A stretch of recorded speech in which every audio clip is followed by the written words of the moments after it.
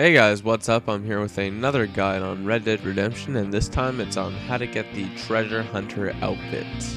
I'm just going to show you the requirements here. There are six scraps in total, and they're uh, pretty standard, pretty easy to get. So first is scrap one, which is to search Silent Stead.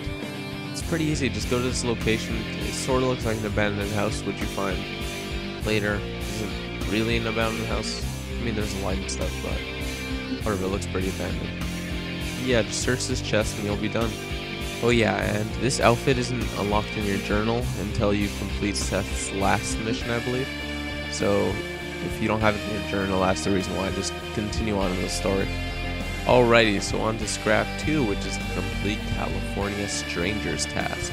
This one is actually a five-part mission, and it starts off with me seeing Mr. Sam Odessa. Now, to even have the ability to find Mr. Sam Odessa, you have to complete Bonnie MacFarlane's mission, Women and Cattle. Hello there. Ooh, nice to see me. Sentient being out here. Name's Sam. Sam Odessa. Now, these purple bubbles on my map are where Sam Odessa is located, and they're not going to spawn right away. So to initiate them faster, you can save and then load your game, and you should see them on your map pretty easily.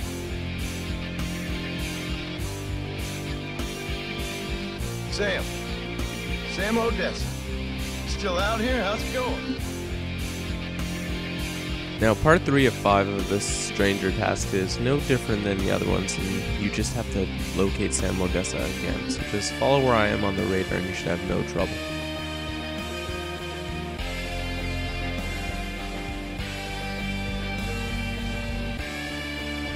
Sam, we meet again. How you doing out here? Just why the shouting? Why the dancing? Why the laughter? I, I hope I die laughing. I do. Keep this up, you just might. So again, like all the other parts of this Stranger task, just follow this purple bubble, but this time you find Sam in, let's just say, not his best state. And um, when you rummage through his belongings, you find some cash, which you take, and but you also find this letter. This letter must be delivered to the mail office courier thing at Armadillo. Also, a quick note, you can actually view the letter if you go into your inventory and go into one of the slots and you can click it and read it. It's pretty interesting. So that's about it for this scrap, and it's going to probably be the longest scrap you do out of all of them.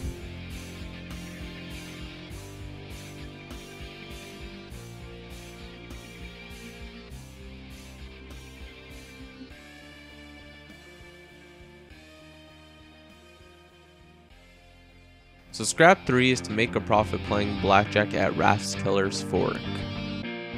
When you make it here, you'll see the little uh, card icon, and you'll want to go to it and press B to play blackjack, and you'll have 200 chips, and what you're trying to do is win any size bet that gets you over 200 chips. So I bet $2, which is the lowest, and I get a 17, so I get a queen and a 7, queen stands for 10 points and 7 stands for 7. You're going to want to try and get to 21 but not over and you can hit to get more cards to try and get closer to 21. Uh, I'm not going to explain all blackjack here but I hope you get the uh, premises of it. Anyway, luckily the dealer busted and I won that hand and so did everyone else. So that's why I kept it at 17 because I saw his cards weren't exactly the optimum.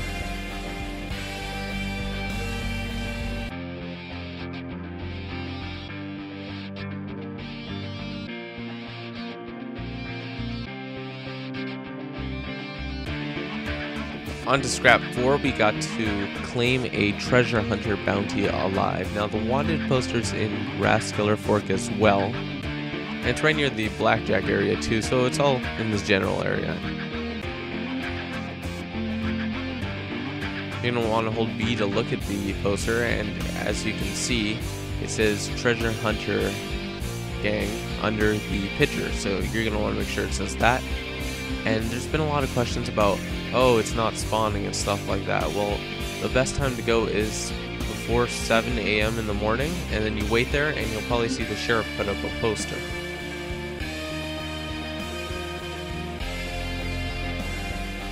Anywho, when you get there, you gotta kill his goons and uh, proceed to tie him up with your lasso and put him on your horse. Now this one's a bit odd because you have to bring them all the way back to Armadillo, so it's quite a trip. Mark it on your radar and get going. Once you're there, you'll meet the lawman. I'm sure you've done some other bounties. If not, congratulations, you got 40 bucks.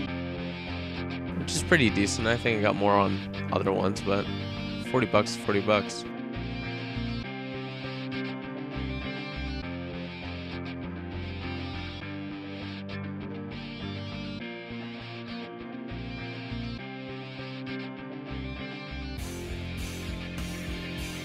Scrap 5 is to complete the Gaptooth Breach hideout, and this is only possible after you beat Irish's mission, which also involves something at Gaptooth Breach. I don't want to give it away, but just finish all of Irish's missions, or at least up to where you see this level, and then you can come back later and you can do this.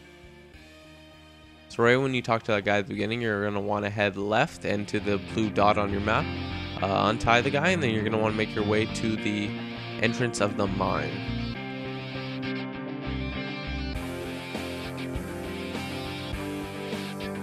I just speed it up because it's a bit of a long uh, fight here. Especially when I find these two guys in the back. I thought they were inside the uh, shed, but it's not.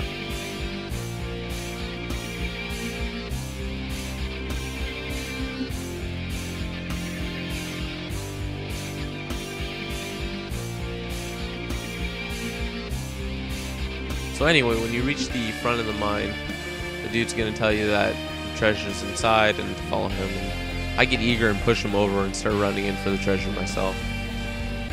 Some tips while doing this is to blow up the TNT you see, which is the chests or the boxes, and also to blow up the lanterns, or shoot the lanterns rather, make them explode and set them on fire.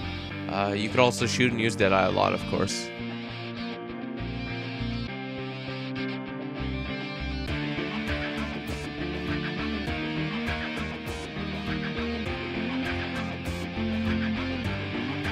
When you reach this area, the guy's going to tell you there's only one chest, so grab it for yourself. I'm not sure it's required to grab it, but you get $83, and that's pretty good. So go ahead and grab that. And I come back to investigate because I heard an explosion, and the guy actually sat on some TNT and blew up, I guess. Anyway, another weapon animation before I leave the mine, and that's it for Gaptooth Breach. Little interesting thing about when you get the treasure on your outfit, you can actually come back to the mine and nobody's going to shoot at you and you can take the treasure. An easy way to get money, except for the last two guys I think they're going to shoot at you, but you can just run for it at the end or just kill them.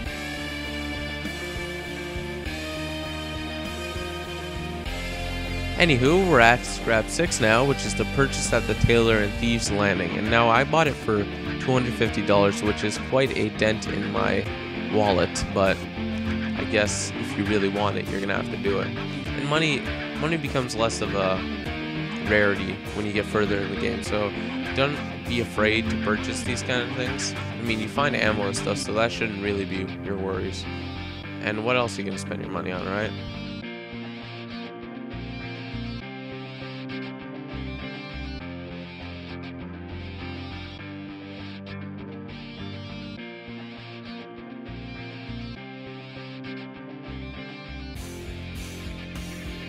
So we're at the end of the guide here, and I was wondering if I could get your guys' uh, feedback on what you thought of the video. Uh, I put some work in this one, added some new stuff, and was trying something different. I was wondering what you guys thought. Also, if you liked the video, be sure to subscribe, rate, favorite, and all that good stuff. I'll catch you guys later. Peace out.